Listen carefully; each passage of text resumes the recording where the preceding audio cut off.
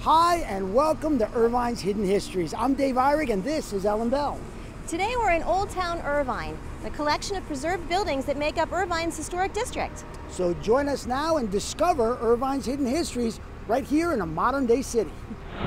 The Irvine Ranch was once one of the leading producers of lima beans in the world, and the preserved buildings and warehouses found in Old Town Irvine were the storage and shipment center. In fact, some would say it was Irvine's first downtown.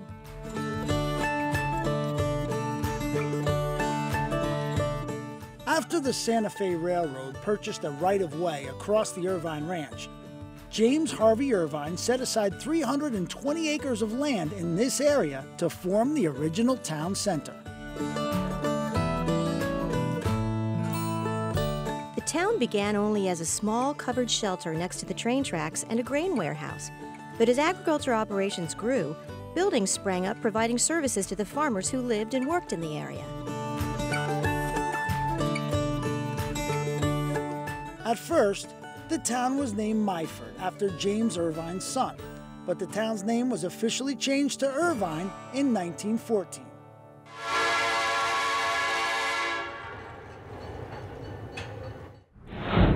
One of the highlights of Old Town Irvine is Knowlwood's Burgers. But this rustic building isn't just decorated to look old. It was actually built in 1908 and was home to Irvine's first blacksmith shop. Willard Culver operated the blacksmith shop, which was a busy place in the growing town.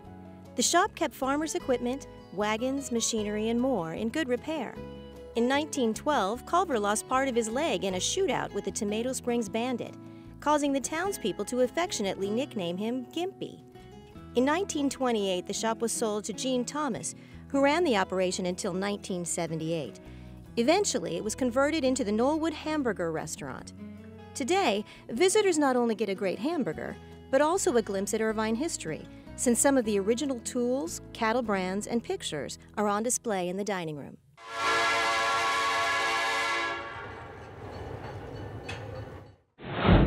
In 1912, an enterprising young woman by the name of Kate Munger opened the first general store. Designed by architect Chris McNeil, who also designed Balboa Pavilion and the Orange County Courthouse, this store became an iconic landmark in the 1970s. Complete with a post office and 94 brass post office boxes in front, the store sold everything from milk and bread to chewing tobacco and blue jeans. The store also sold gas from a crank pump behind the store. Many of Irvine's youth at the time have fond memories of stopping at the general store for a penny candy and an ice cold Coke. In 1913, James Irvine asked Chris McNeil to design and build the Irvine Hotel that was used to house seasonal farm workers who came to work the Irvine Ranch during harvest season.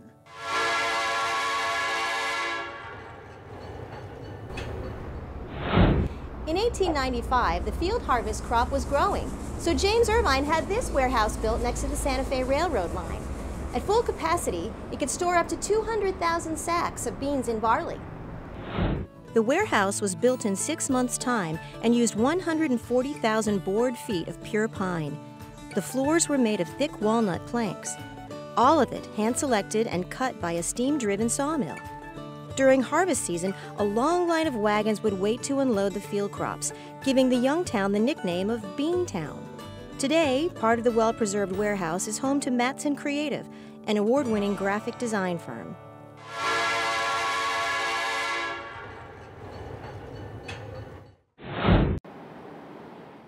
Also in Old Town Irvine is one of the most unique hotels in California. This converted granary is now home to La Quinta Inn, which provides guests with a one-of-a-kind experience. In 1949, the decision to move to a more efficient method of bulk processing led to the construction of a new warehouse structure. The new warehouse was made up of 32 concrete silos set in a honeycomb pattern. Each silo could hold 16 million pounds of beans and barley. The warehouse became the home of the Irvine Bean and Grain Growers Association until it was closed in 1971.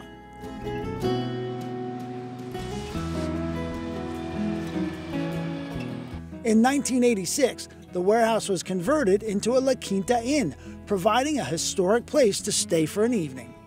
To maintain the structure of the building, rooms have unique shapes while children enjoy an up close view of the passing trains.